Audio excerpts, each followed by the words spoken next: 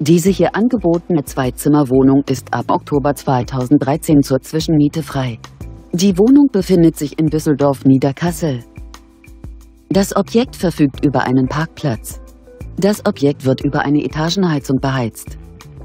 Die Wohnfläche der möblierten Wohnung liegt bei ca. 50 Quadratmetern. Die monatliche Pauschalmiete beträgt 620 Euro.